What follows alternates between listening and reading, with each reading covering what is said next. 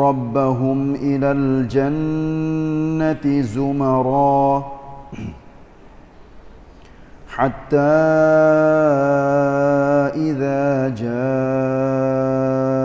جاءوها وفتحت أبوابها وقال لهم خزنتها سلام عليكم طبتم فادخلوها خالدين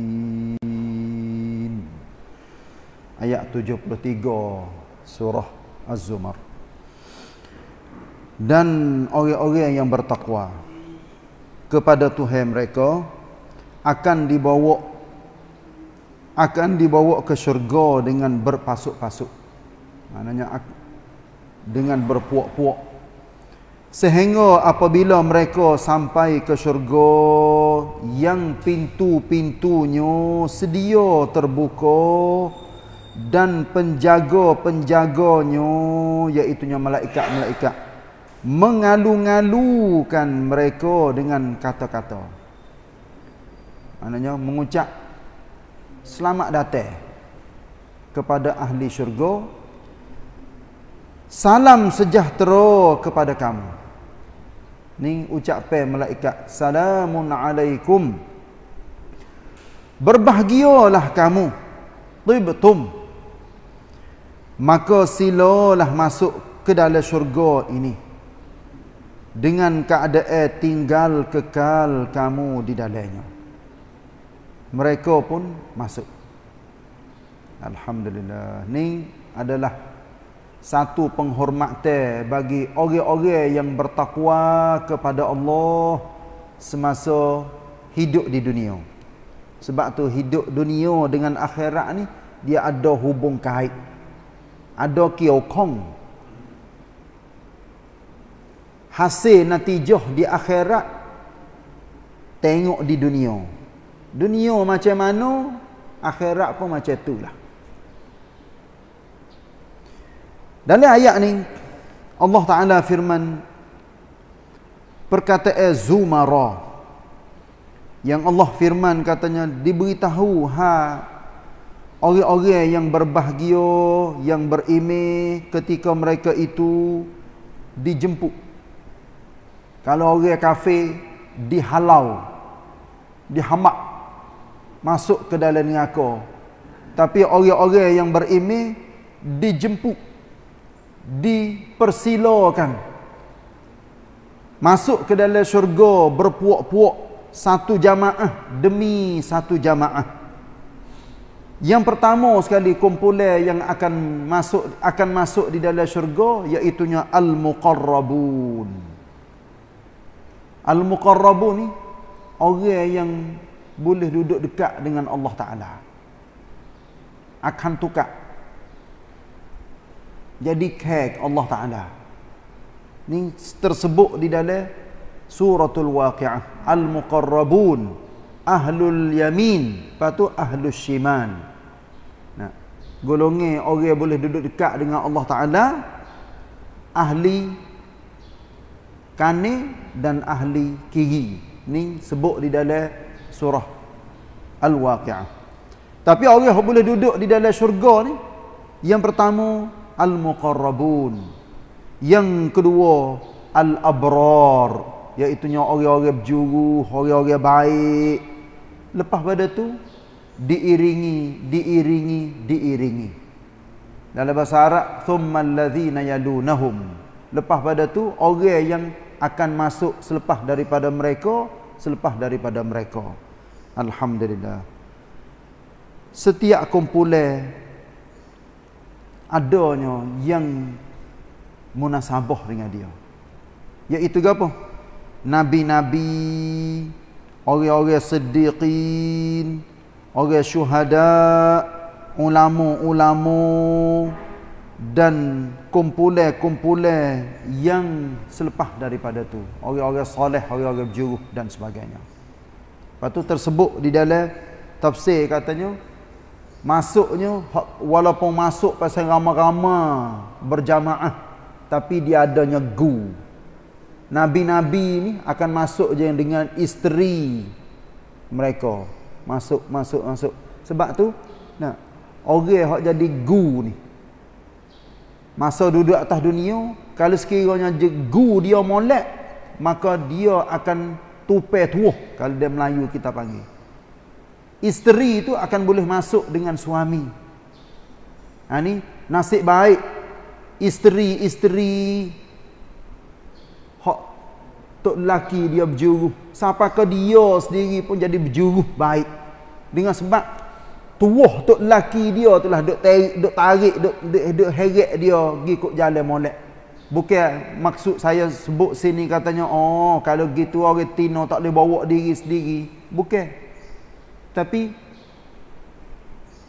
umumnya orang perempuan ni apabila suami dia baik maka dengan sendiri dia pun akan jadi baik. Setengah-setengah keluarga isteri lebih baik daripada suami lagi.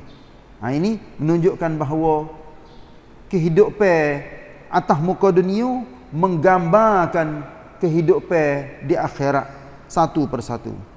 Apabila mereka sampai sampai ke ke syurga tak? Ke pintu syurga.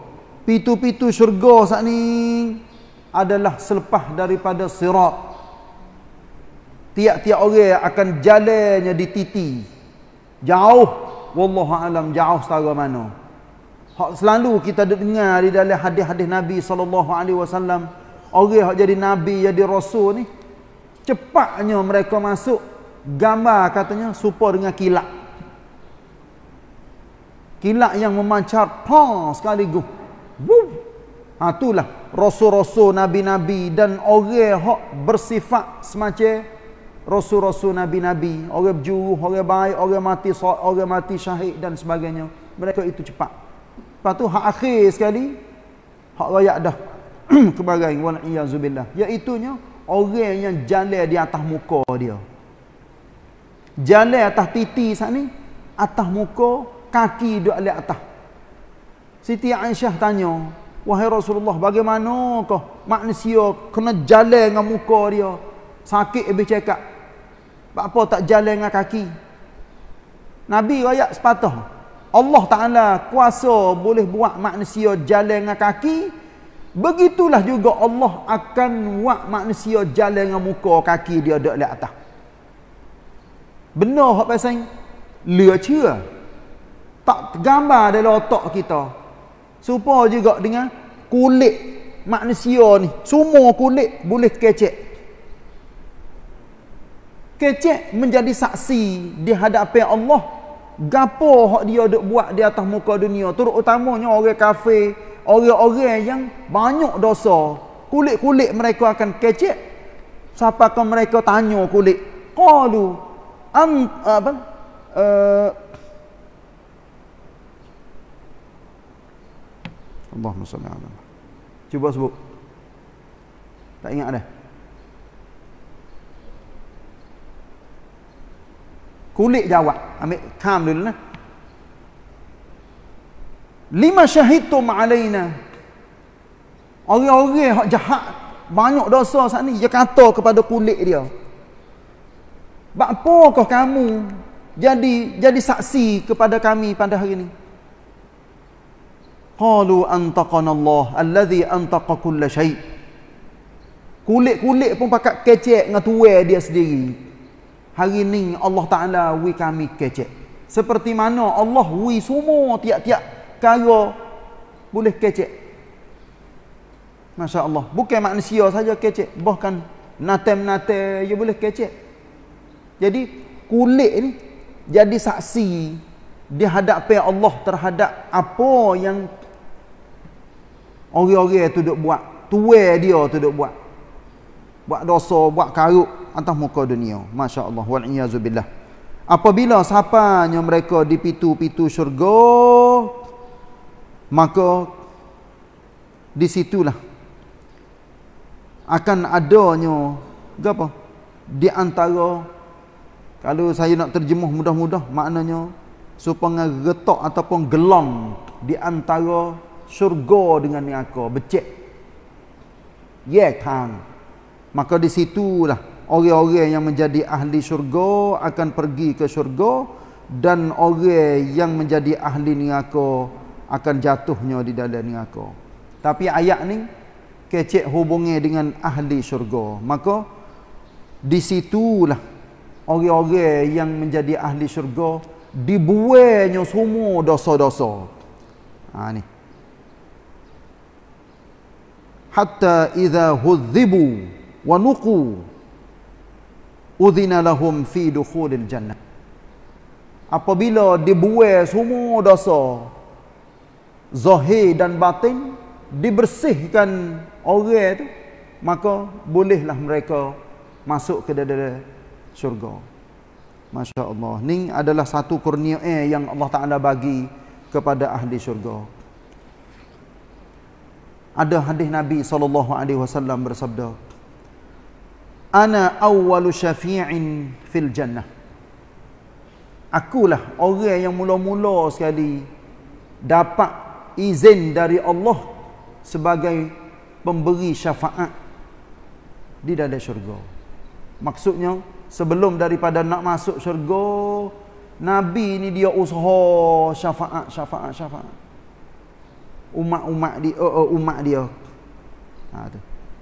So lagi hadis dalam lafaz Muslim wa ana awwalu man yaqra'u babal jannah.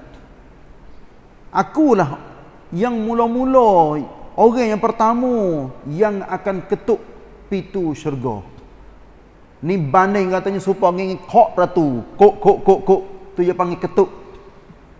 Nak pintu syurga.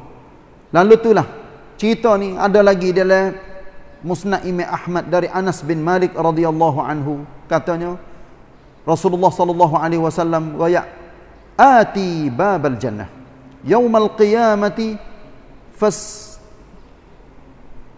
ف... فأستفتح فيقول الخازن من أنت فأقول Muhammad. قال fayaqul bika umirtu bika umirtu an la aftaha li ahadin qablak. Nabi katanya aku apabila siapa di pintu syurga maka aku pun minta supaya dibuka pintu syurga saat ni. Berkatalah penjaga syurga nah kita selalu sebut iaitu nya ridwan. Bukan? okay? Malaikat yang jaga pintu syurga kalau hak ni aku ni Zabaniyah, hak ni Ridwan.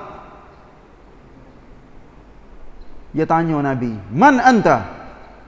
Siapa mu ni? Bukan arti dia tak kenal Nabi, tapi dia tanya tu untuk nak yin Lalu itulah Nabi katanya, Muhammad. Bila Nabi sebut Muhammad nama dia, maka malaikat pun jawab, munglah. Orang yang aku diizin supaya buka pintu syurga. Ha, ni tengok.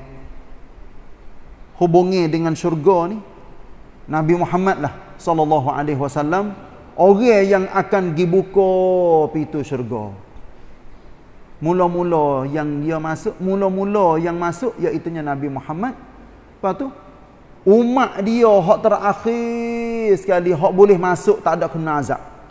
Masuk pitu tu pitu ni pitu tu pitu ni. Boleh masuk belaka. masya-Allah. Dalam hadis riwayat lagi. Dalam musnad Imam Ahmad juga. Dari Abu Hurairah radhiyallahu anhu katanya sabda Rasulullah sallallahu alaihi wasallam awwalu zumratin talijul jannah suwaruhum ala suratil qamari lailatal badr.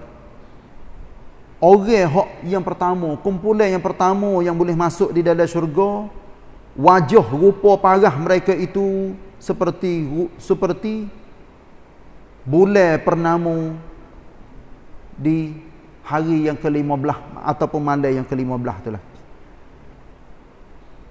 la yabsuquna fiha wala yatamakh ولا يمتخطون فيها ولا يتوغطون فيها آنيتهم وأمشاطهم الذهب والفضة. Ada lagi dah? Nabi ayat katanya orang yang duduk di dalam syurga tak ada sihir tak ada batuk tak ada berok tak ada kecing. Ha, tu. cuba kita gambar katanya nyakit-nyakit hak pasang sonseng-sonseng atas muka dunia ni nah tak ada. Demam tak ada. Sehinguh pun tak ada. Semua tak ada. Tak ada tak ada belaka. Nah ada dalam hadis lain royak katanya tak tak tak berasa panas tak berasa terlalu sejuk dan gotu go ni banyak masya-Allah. Tak berak tak kecil nak. Makuk pinggir dan semua kakah-kakah yang diguna di dalam syurga sudu ke gotu go ni semua kakah-kakah cuba kita gambar hak kita duk makan minum dibuat daripada perak dan mah ha tu semua saat ni saya baca maksud dia lalu dah Makan ni yang makan siap. Yang orang yang makan, dia akan tubik kok bulu roma jadi minyak bau. Sebab tak berak. Ha. Tubik. Benar ni benar yang orang mikir atas dunia. Walaupun cerdik bijak secara mana pun tak gambar, tak nampak. Apa boleh benar-benar hak makan dah tubik kok bulu roma, lepas tu jadi pula minyak bau. Masya Allah. Lepas tu, tiap-tiap orang daripada mereka akan adanya dua isteri. Wallahualam lah. Orang yang pasang isteri sore atas muka dunia. Nak boleh isteri lagu mana di akhirat. Wallahualam. Hak ni Allah Ta'ala atur siap-siap dah. Orang yang tak biasa belaki. Nah, tak biasa bining. Tapi di akhirat sikit lagi, Allah Ta'ala kacuh, kacuh, kacuh, kacuh. Jadi bini belaki belako ada gu belako tak ada orang apa pasal duduk sore cokoh tak ada walaupun orang duduk negeri tu negeri ni atas muka dunia sikit lagi akan jadi laki bini ni lepas tu orang hak apa? Isteri yang dia hidup atas dunia ngatuk laki mana hak akhir sekali atas dunia maka dengan tok laki itulah yang akan hidup. Hak tok laki yang cerah ada hak hak apa ni hak mati lepas tu bining gi belaki dengan hak lain maka ngatuk laki dulu dia tak jadi laki bining dah. Dia akan jadi suami isteri dengan hak akhir sekali. Ha tu dengan mudah. Nak uh, kita faham lepas tu hak lain daripada tu hak bidadari yang Allah Taala bagi kepada orang lelaki hak tu suku pula nah sehingga apa nampaknya kulit-kulit dan isi-isi siapa tulis. Nak ayat katanya putih. Comel orang-orang ahli syurga ni bukan lelaki, bukan perempuan dak. Lelaki pun serupa juga. Bila tengok pak jadi prong, nampak habis kakah dalam. Ha tu. Supaya kita tengok setengah-setengah hikir, saya perhati baca hadis ni pak tengok ada setengah-setengah hikir dah. Siapa kau tulis dia kita nampak. Ini tu hewat lagu tu atas muka dunia. Begitulah juga di akhirat sikit lagi. Masya Allah. Nak. Kulit sangat comel. Rupa parah. Dan tidak adanya perselisihan, perbalahan, marah. Nah, di antara mereka. Hati-hati mereka adalah hati yang satu. Ha ni, hak kita duk harap katanya akan satu manusia di atas muka dunia mustahil sama sekali tapi apabila siapa di dalam syurga qulubuhum ala qalbin wahidin hati mereka serupa dengan satu hati. Masya Allah Supa belaka Juruh belaka Baik belaka Yusabbihuna Allah Ta'ala Bukratan wa asyiya Mereka itu bertasbih kepada Allah pagi petang siang malam. Selalunya sebut benda-benda molek. Tak ada kecek. La yasma'una fiha lagwan wa la ta'thima illa qilan salaman salama.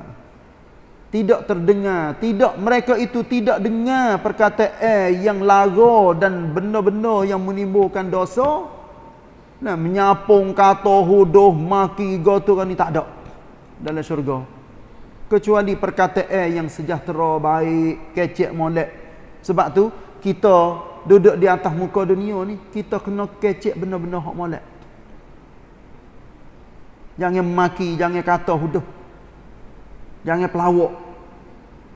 Jangan jangan jangan jangan. Benda-benda hak tak molek jangan kita sebut. Sebab Nabi SAW sebut ha ni dan saya tambah atas ni masa pun habis dah laisal mu'minu bit ta'an walal la'an walal fahishi walal badhi. Nabi sebut empat perkara. Bukan sifat orang mukmin yang suka cicir orang kata huduh kepada orang at-ta'an walal la'an dan bukan sifat orang mukmin juga suka laknat suka menyupoh kata huduh gotu goni gotu gani bukan. Walal fahish dan bukan orang mukmin juga orang yang suka buat dosa buat karut buat jahat. Walal badhi so lagi iaitu bukan mulut huduh. Badhi artinya kecek riai perai rai sarak kecek dah tahu apa nama benda hak boleh rekah. Seminit pada ni. Peh tapi yang ulang anja rekah mudah-mudah. Ya kecek. Cik seminit pada dah. Tak ada kena dek kecek banyak. Tapi wak kau dia wah banyak mulut banyak. Kalau dia bahasa Melayu dia panggil orang gata mulut. Masa nak kecek kok. Go tu go ni go go ni. Sebab tu kita ambil daripada hak Nabi royak pak kara sana mari guna di dalam hidup kita. Terutamanya mulut. Nah. Sama ada orang ngajar ke orang ngaji ke orang biasa orang ke apa. Semua kena jadi molek belaka. Jangan cerita, jangan kata kepada orang sama sekali. Gitulah. Nah, termasuk di dalam kita akan jadi bakal ahli syurga. Wati chau sawan insya-Allah. Lepas tu ada lagi beberapa hadis yang saya boleh jadi sari dua ni duduk di dalam ayat tula lagi iaitu ayat yang ke-73 surah Az-Zumar. Lepas tu 74 75 sebagai akhir. Wallahu a'lam. Wassallallahu ala nabiyyina Muhammad wa ala alihi wa sahbihi wasallam. Wassalamualaikum warahmatullahi wabarakatuh.